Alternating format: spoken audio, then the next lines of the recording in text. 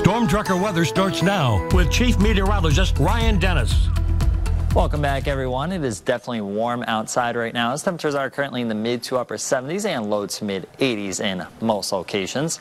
On the Opportunity Bank ICAM, we have had partly cloudy skies throughout the day today, and some of you from the Helena area may have been able to see some smoke today. So there is a prescribed burn going on. You can see that smoke and the smoke plume on our Opportunity Bank camera.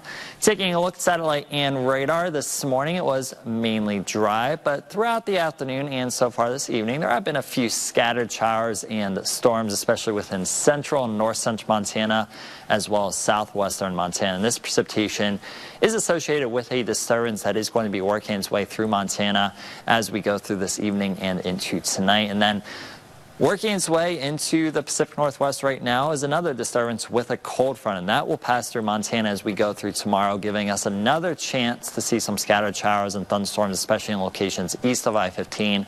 That cold front is also going to allow the wind to pick up a little bit, and it will cool the temperatures down a little bit as we head into tomorrow and Thursday. For this evening and tonight, there are going to be some scattered showers and thunderstorms around as that disturbance works its way through our area. We're also going to have partly to mostly cloudy skies overnight tonight. And then for your date tomorrow, we are going to have partly cloudy skies, and it will be a little bit cloudier during the morning and then a little bit sunnier during the afternoon and the evening.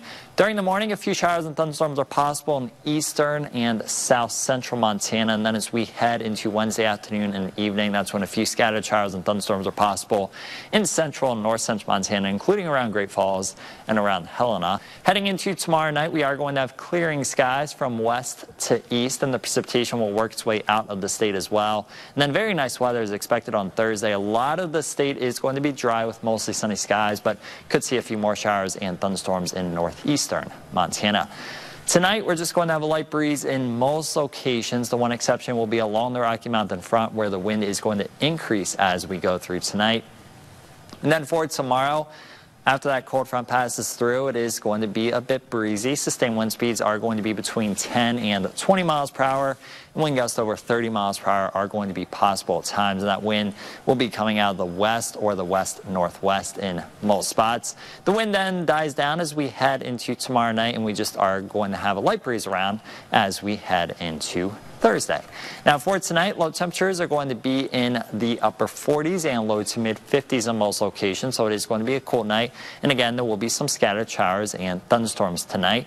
And then for your day tomorrow, partly cloudy skies, a chance of showers and thunderstorms, and it will be cooler than it was today. High temperatures back down into the 70s for most of us. A few spots will only top out in the upper 60s.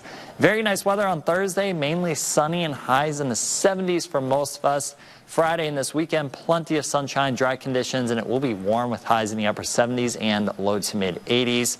Monday, mostly sunny and 81, and then a lot cooler next Tuesday, highs back in the 60s with a chance of showers and thunderstorms as a strong cold front works its way through Montana.